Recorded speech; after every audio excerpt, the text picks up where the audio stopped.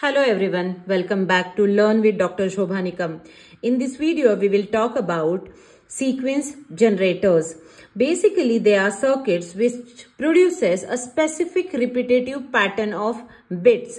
It means, let's take an example of one sequence, let's say 10110 it means they'll keep on generating this pattern 10110 again 10110 again 10110 so we can say this is an application of flip-flops. So if i'll ask you to design sequence generator or a circuit which can generate this sequence then first step is you need to identify how many flip-flops are really required to design this circuit. So here equation is L must be less than or equals to 2 raised to n minus 1. Here L is length of the sequence. So here length is 1, 2, 3, 4 and 5. 5 and n means number of flip-flops required to design this circuit. So this is minimum number of flip-flops. So here I'll put L as 5. 5 must be less than or equals to 2 raised to n minus 1. If I'll take this 1 to this side, this side will become 6. Must be less than and equals to 2 raised to n. So if I'll put n is equals to 2, then right hand side will become 4. So this will not satisfy this condition. So if I'll put n is equals to 3, then it will satisfy the condition. So n is equals to 3 here. Number of flip-flops. Minimum number of flip-flops are 3. We may need more than 3 flip-flops. So, first step is this. So, if I have 3 flip-flops, it means I'll have 3 outputs. So, my first output is Q0, output of second flip-flop is Q1 and output of third flip-flop is Q2. Then, what output I should get? I should get 1, 0, 1, 1, 0. So, 1, 0, 1, 1, 0. This is my expected output. Now here I am designing my sequence generator using shift register method. So shift register means data will shift. So here this bit will come here. So this 1 will come here, this 0 will come here, this 1 will come here, this 1 will come here and then this 0 will go here. So here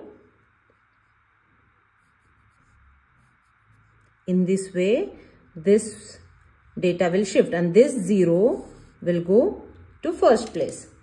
Similarly after that again in same way this data will shift this 0 will come here, 1 will come here, this 0 will come here, this 1 will come here and this 1 will come here. So these are the outputs of 3 flip-flops. Now this is the important step. We need to identify if any state is repetitive here. So my first state is 1, 0, 1. Am I getting same state again 0, 1, 0 and here. So here you can see here I have 1, 0, 1 and here also I have 1, 0, 1. So these two states are same. If any other state is same, no. Other states are unique states. So if I'll find any repetition of states, then simple rule is I need to add one more flip-flop here. So I'll add third flip-flop Q3 and again data will shift in same manner. So this 1 will come here, this 0 will come here, this 1 will come here, this 0 will come here and this 1 will come here. And now we have all unique states. So these are the outputs of four flip-flops. But uh, what about input to first flip-flop? See, output of first flip-flop will get connected to input of second and output of second to input of third. That is okay. But what about input to first flip-flop, which can also be called as feedback? So we need to identify the feedback. So for identification of feedback, what we do is we simply shift this pattern again.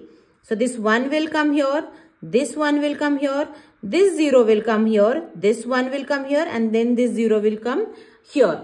And now for this feedback, we need to find out an equation by using K-map. So total number of flip-flops are 4. So I'll have K-map which has total 16 cells. or K-map for four variables. So this is K-map for four variables Q0, Q1, Q2, Q3. Here values are 0, 0, 0, 1, 1, 1, 1, 0, 0, 0, 0, 1, 1, 1, 1, 0. We use gray code here. Then see first is 1, 0 and 1, 1. 1, 0, 1, 1. So 1, 0, 1, 1 here. So I'll write, uh, so see here value is 0. So I'll write 0 here. For this combination value is 0. So I'll write 0 here. Next is 0, 1, 0, 1 and value is 1. So 0, 1 and here also 0, 1. See Q0, Q1 is 0, 1. Q2, Q3 is also 0, 1. So here and value is 1. So I'll write 1 here. Next is 1, 0, 1, 0 and value is 1. So 1, 0, 1, 0 and value is 1. This, this and this. Three values are done. Next 1, 1, 0, 1. 1, 1, 0, 1 and value is 0. So I'll put 0 here. Then next is 0, 1, 1, 0. So 0, 1 and 1, 0 here. And value is 1 and at remaining places we need to put don't cares.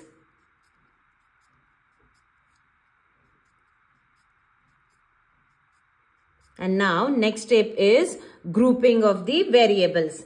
So here you can see we can make group of these eight cells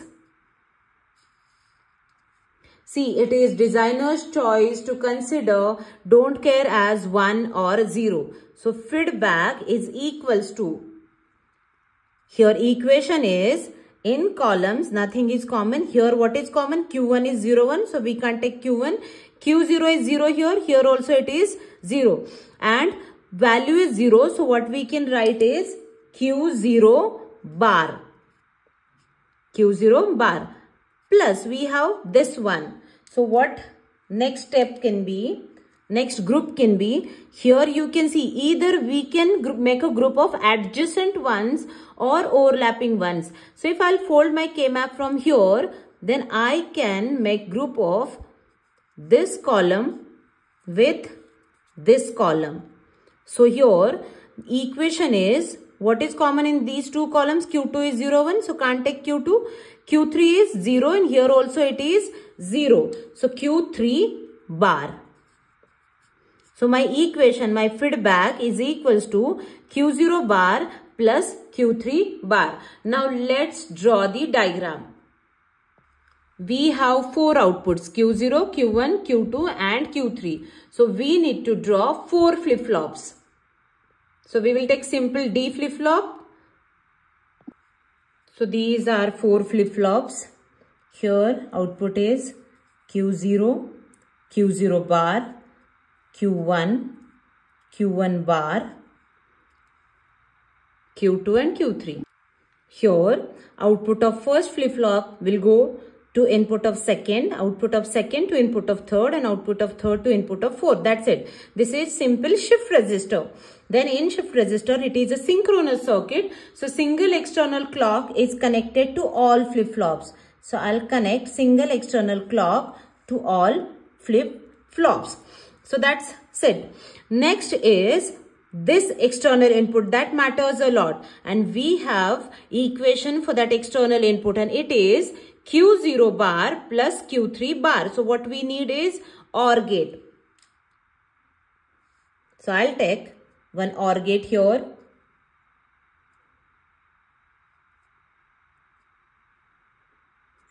Output of that OR gate will go to input of first flip-flop. And what are the inputs to that OR gate? Inputs are Q0 bar and Q3 bar. So I'll take this Q0 bar first input and second input is Q3 bar.